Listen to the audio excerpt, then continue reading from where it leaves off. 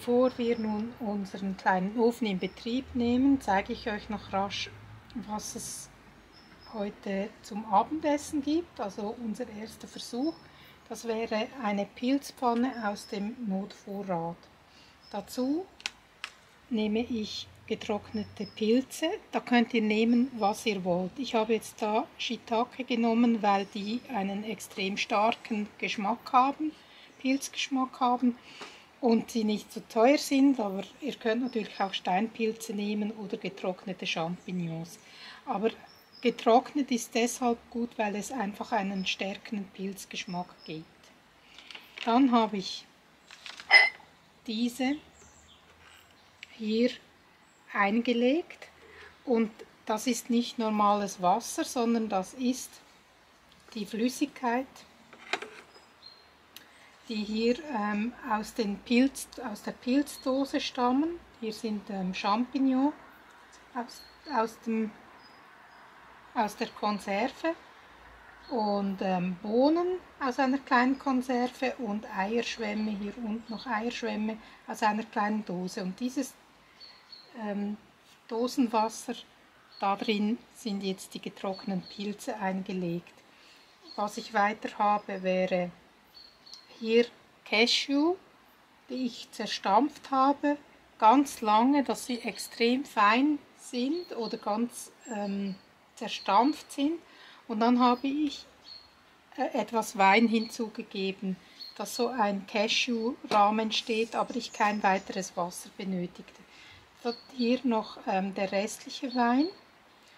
Den kann man natürlich auch ersetzen durch irgendwelche Brühe. Aber ähm, Wein gibt einfach dem Ganzen einen guten Geschmack und wir haben immer etwas Weißwein im Vorrat. Dann ähm, Pfeffer, Salz, ein Teelöffel Salz ist das. Dann geröstete Zwiebeln, zwei Esslöffel 1 Esslöffel getrockneter Knoblauch, 1 Esslöffel Paprika-Gewürz. Da könnt ihr scharfes oder süßes nehmen, je nachdem, was euch am besten schmeckt. Und weil ja diese Pilze aus der Konserve immer in etwas ähm, saurem, also mit Zitronen versetztem Wasser sind, gebe ich da den Gegenpol mit Ahornsirup. Da könnt ihr aber einfach normalen Zucker nehmen, ihr könnt Honig nehmen, was ihr im Vorrat habt. Und was ich als erstes als neu ausprobiere, was ich gefunden habe, ist hier Reis, fertig gekochter Reis im Beutel, also dass ich nicht noch Reis kochen muss und wieder Wasser benötige. Ähm, das ist auch extrem lange haltbar. Ich weiß nicht, ob das ist, das bei euch auch zu kaufen gibt. Normalerweise ist dieser Reis einfach, ähm, um im Mikrowellenofen zu garen. Ich tue ihn jetzt extra in die Pilzpfanne. Das sind meine Zutaten. Und jetzt legen wir mal los und heizen das Öfchen ein. Jetzt geht's los. Wir befinden uns hier in unserer Außenküche und ähm, versuchen jetzt eben dieses Öfchen oder diesen Ofen in Betrieb zu nehmen, schauen, ob er funktioniert. So nehme ich ein Holz, das ich hier einlege und den Zunder lege ich hier oben rein. Und dann ein wenig Kleinholz anfeuern.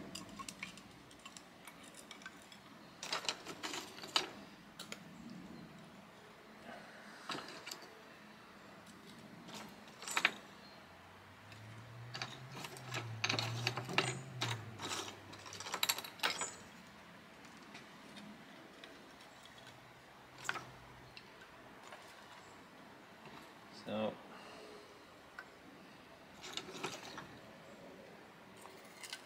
So.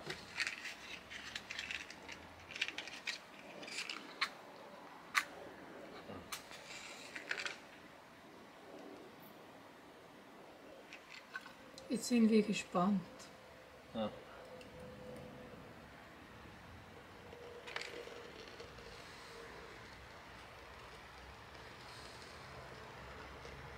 So.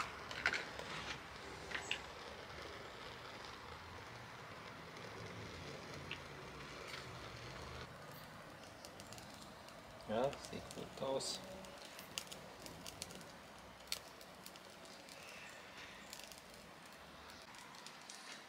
Jetzt fange ich mal an. Normalerweise äh, brauche ich ja immer Öl oder Fett, aber jetzt ähm, haben wir ja alles aus dem Vorrat und ich habe eigentlich nichts, ähm, was ich anbraten kann. Also gebe ich jetzt einfach schon mal die Pilze samt Einweichflüssigkeit in die Pfanne.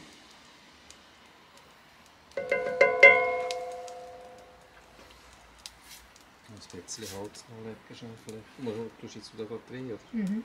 Also, Und gebe auch gleich die anderen Pilze dazu.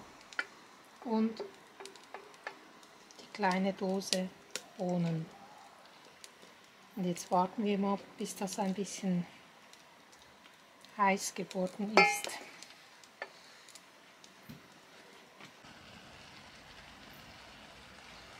Jetzt fängt es an zu kochen. Jetzt gebe ich mal noch den, die Gewürze zuerst rein. Salz.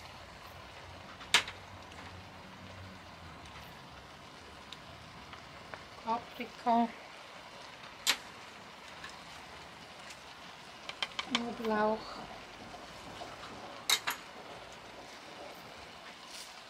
Geröstete Zwiebeln. Und den Ahornsirup.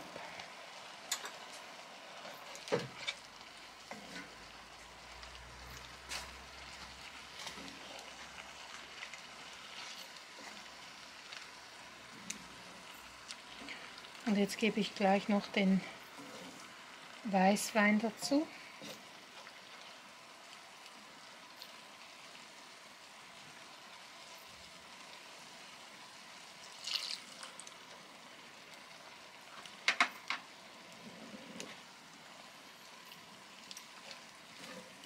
So, sieht schön, ne? der Ofen zieht. Wir sind glücklich.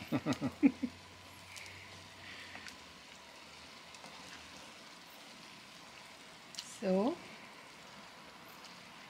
Mit dem Reis warte ich, der braucht ja nur zwei Minuten, kenne mich da überhaupt nicht aus, möchte ihn nicht zu früh reingeben, dass es dann irgendwie, dass er dann vollkommen verkocht.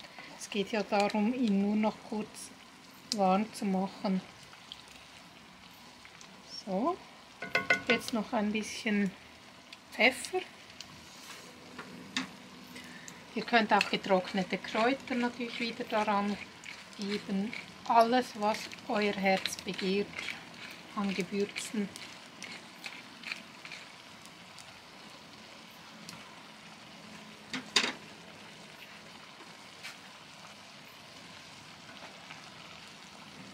So. Wenn ihr die Pilze lang in, in der Flüssigkeit eingelegt habt, dann braucht ihr das jetzt nicht Stunden zu kochen. Wenn ihr Pilze genommen habt und die vielleicht noch nicht so weich gewesen sind, jetzt, dann könnt ihr das länger köchern lassen. Und jetzt zum Abschluss, bevor ich den Reis hier reingebe, kommt ja noch der Cashew-Rahm.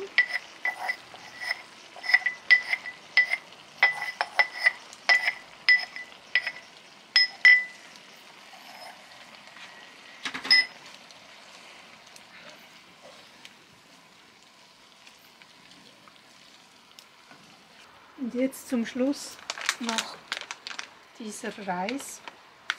Mal schauen. Muss man wahrscheinlich ein bisschen. Also dieser Reis ist im Moment Störrisch. störrisch, genau wie ein Esel. Aber vielleicht, wenn er jetzt kommt langsamer, muss wahrscheinlich ein bisschen warm werden. Nice. So, es geht kommt. Richtig.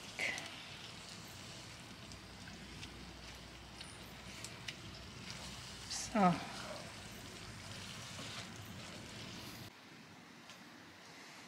So, das ist das fertige Gericht. Was ich finde, ist einfach, die Portionen sind natürlich für einen Notfall zu groß. Ich würde sagen, das Rezept kann man ähm, auch für drei Personen genauso kochen, sogar für vier, wenn eben eine Notlage ist. Da stopft man sich ja nicht die Bäuche total voll. Das Rezept werde ich unten oder die Zutaten euch unten noch aufschreiben in der Beschreibung. Und dann wünschen wir euch viel Spaß beim Nachkochen. Wenn euch das Video gefallen hat, lasst ein Like da und abonniert den Kanal. Das würde uns sehr freuen. Wir sehen uns. Bis bald. Bis bald. Tschüss. Tschüss.